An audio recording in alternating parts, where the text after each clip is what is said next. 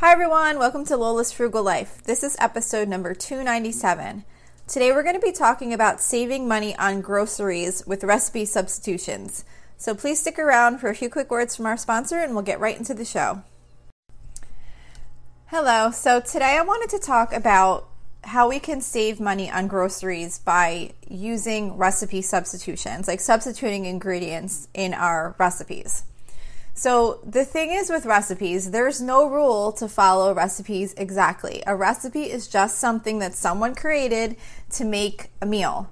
So there's no rule that says you must follow the recipe exactly as written.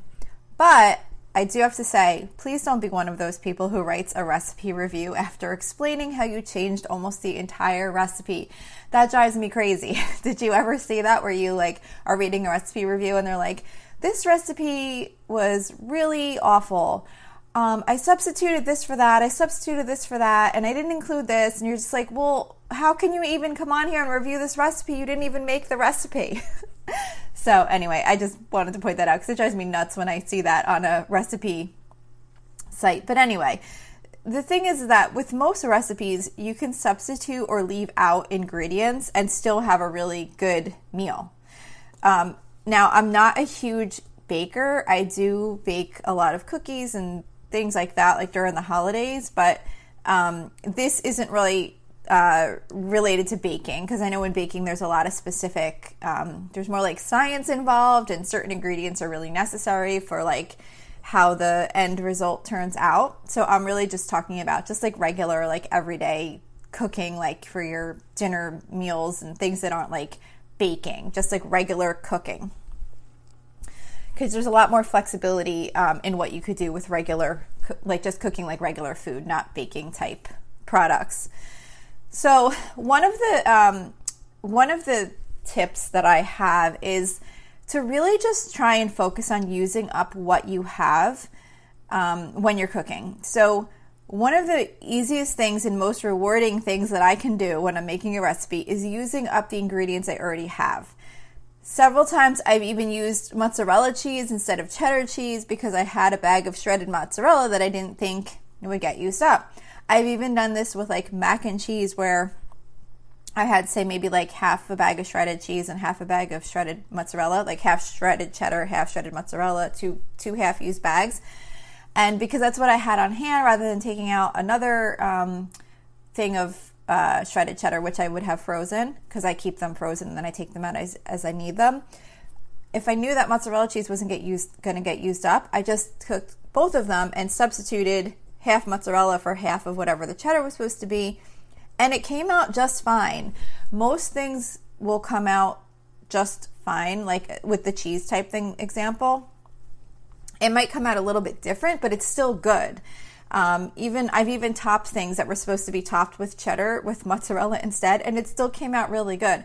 So sometimes I'll do a mix, but it just it just makes you feel so good to be able to use up what you have on hand.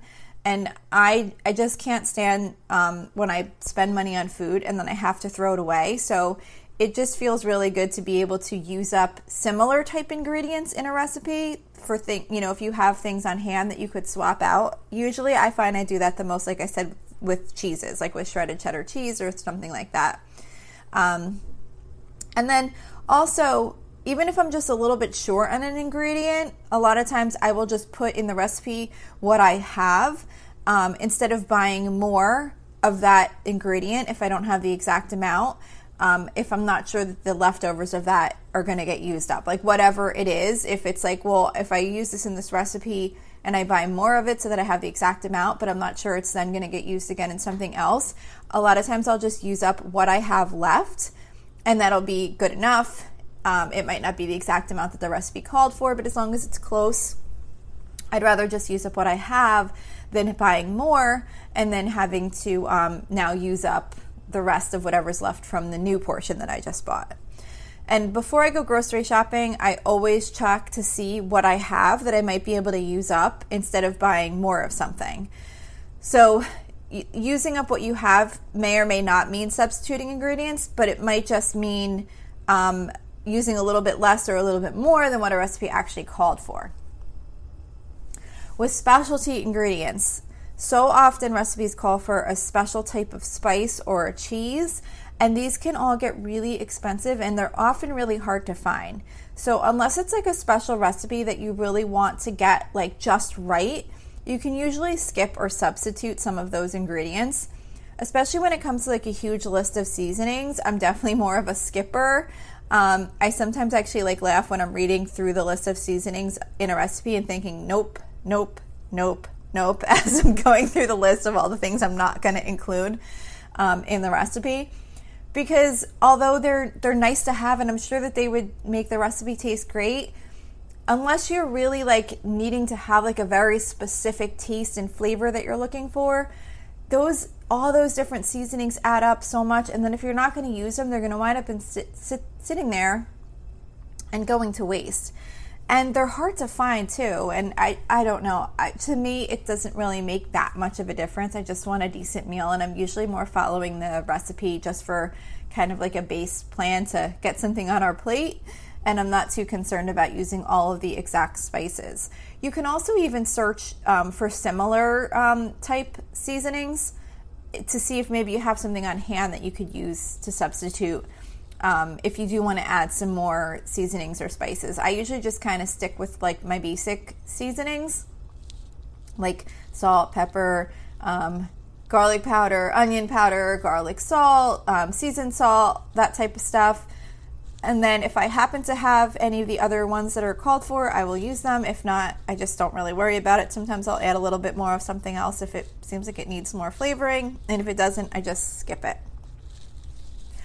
So for actual ingre- like actual ingredient substitutions, some common um, substitutions um, that you can use are um, one of them is using ketchup instead of tomato paste.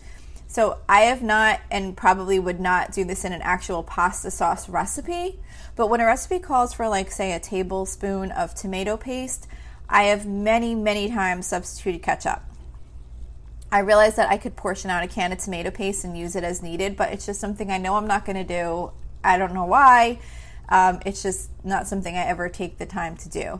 So one at one point in time, I looked up substitute for tomato paste for some recipe that called for like a tablespoon of tomato paste, and I found um, that you could use ketchup as a substitute, and I've been doing that ever since, and I've never had a problem. Again, like I said, I wouldn't use it in a sauce recipe, like an actual you know, if I was making like a homemade pasta sauce, I wouldn't use ketchup instead of the um, the actual um, tomato paste.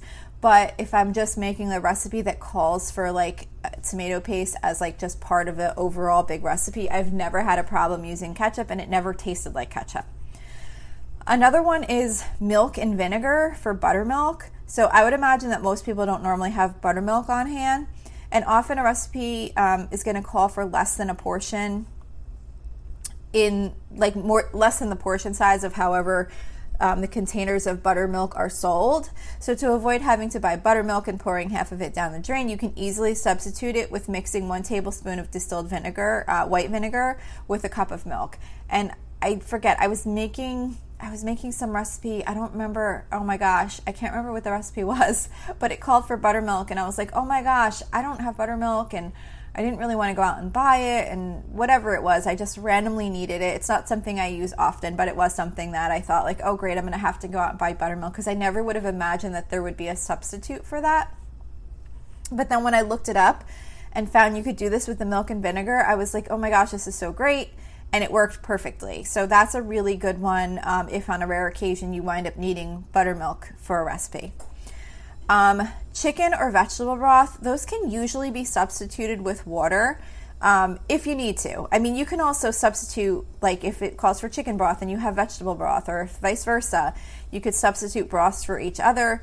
Um, or also, like I said, if you just don't have any broth on hand, you can definitely substitute with water for most recipes.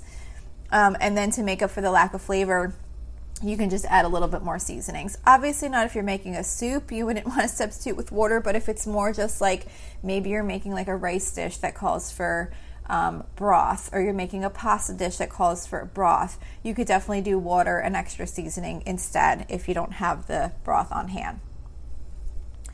I recently read that you can substitute sunflower seeds for pine nuts, so I have not tried this out yet, but I definitely will um, because I do grow basil in the summer and I've always wanted to try to make my own pesto.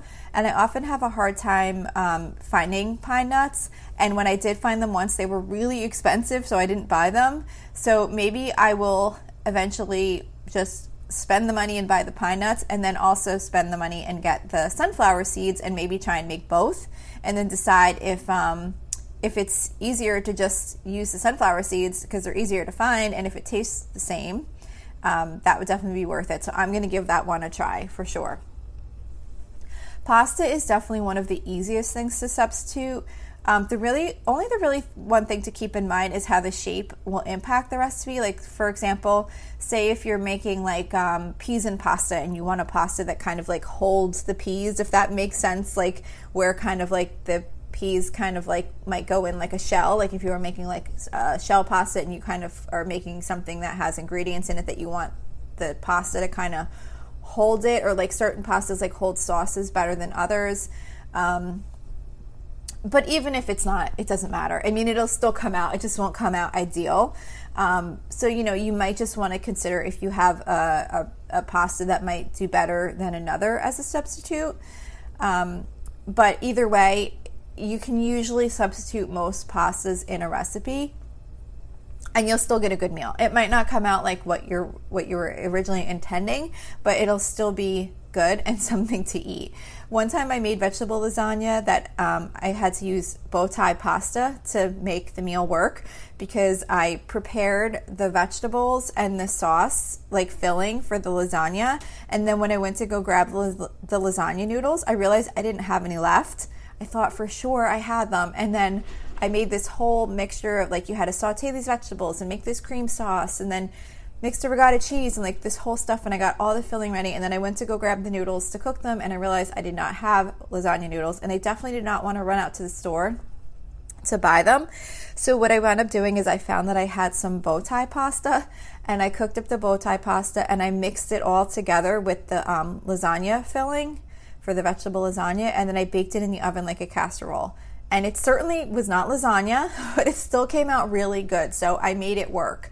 So just kind of um, be creative and see if you can find a way to get your meal to work with what you have to, by substituting certain ingredients rather than always having to spend that extra money um, to purchase exactly what the recipe calls for. And there are so many other, these were just like a few um, substitutions, but there are so many other recipe substitutions. So if you are making a recipe or planning to purchase something for a recipe that you have upcoming and you aren't familiar with an ingredient or you don't really want to buy an ingredient or you want to see if maybe you have something on hand you can use instead, just do a simple search on the internet and you will almost always find simple substitutions for ingredients in your recipes.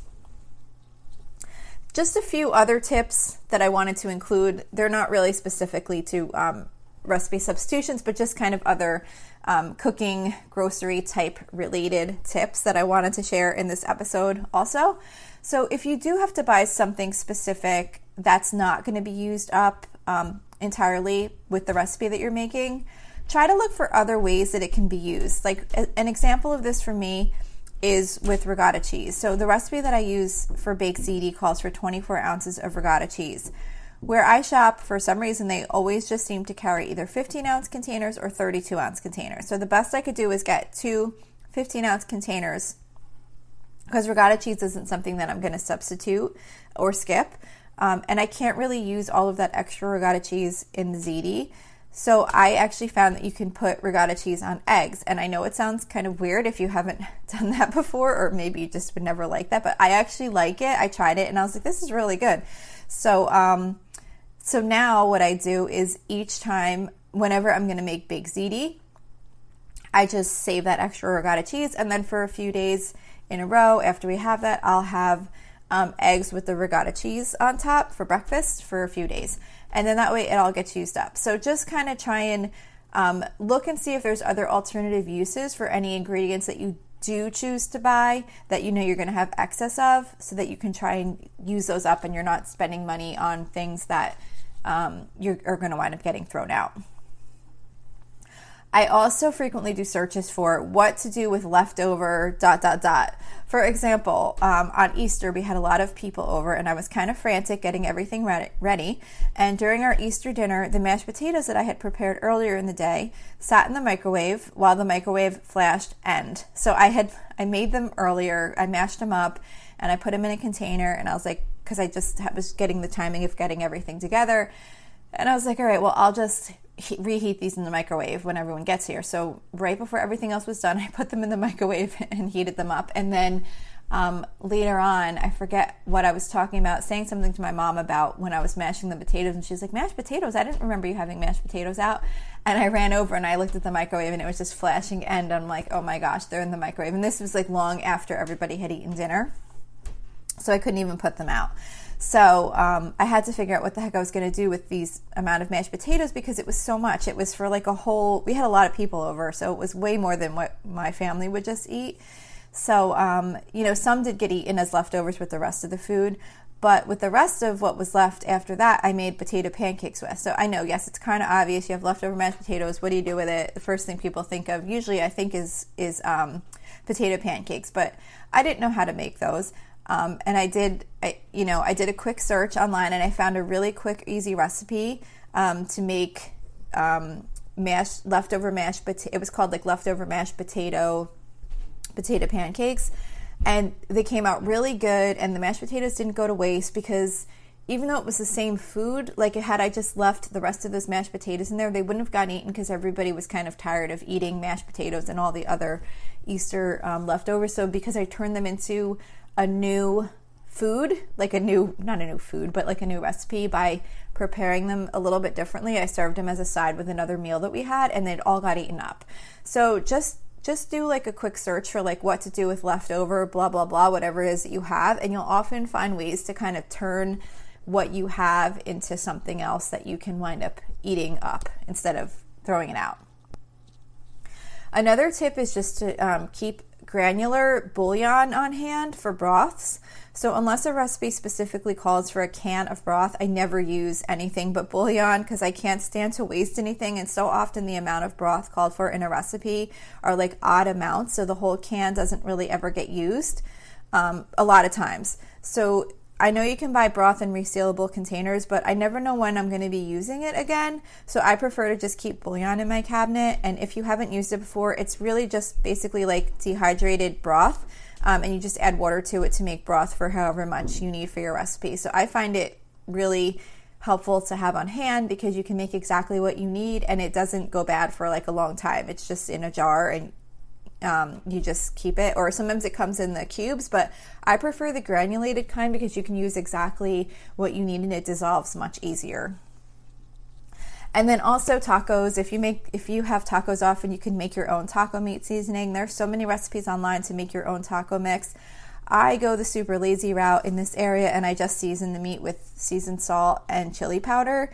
And my family all thinks it tastes good, so I'm just sticking with that because it's just super easy and it takes me no time to make, and I don't have to prepare like a, a seasoning uh, in advance with all these different spices and things. So, however, you like to um, season your stuff, just give it a try and try something simple. And if it works, then you could just keep it like that and not have to go crazy adding all these other um, spices and seasonings if they don't really make much of an impact in your meal. So that is it for today. I hope something in here was helpful. I'd love to hear what you do um, for recipe substitutions. If there's any things that you substitute a lot or any tips that you have, that would be great. So don't forget, you can always email me with any questions or suggestions at lolasfrugallife at gmail.com. You can follow me on Instagram and Facebook at lolasfrugallife. You can find blog posts for each episode on my website at lolasfrugallife.com. And you can also join our private listeners group at facebook.com slash groups slash lolasfrugallife. If you enjoy the show, please make sure to subscribe on Apple Podcasts, Spotify, YouTube, or wherever you listen from. And I would love it if you would screenshot the show and tag me on Instagram so I can see you're listening.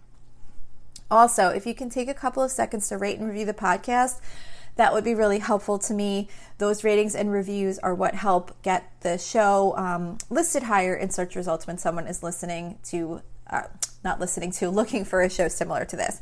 And I do want to say thank you for the most recent review that I got. It was so, so nice. It was really long and detailed, and I was just so thankful. I um, I even screenshotted it and posted on Instagram. It just made my day. So thank you so much. And the girl's name, I can't remember exactly. It was like two horsey girls or something like that. I can't remember the person's name who, like their name on the review was something like that. And I have two horses. So even I thought that was cool too that they had like horsey in their name. but either way, um, just the whole thing, it was super nice. So I really do appreciate the reviews just on a personal level. But then in addition, they do really help um, get the podcast shown up higher in search results. So I'd really appreciate if you have a minute to do that. There's also a link to financially support the podcast in the episode notes if that's something you're interested in. So that's it for today. Thank you so much for listening, and I hope you have a really awesome day. Are you in the mood to learn something new? Well, Skillshare is now offering one month free of Skillshare Premium. Unlock a passion, side hustle, or new professional skill with thousands of classes in design, business, and more. Start your one month free trial now by using the link within the podcast notes for this episode.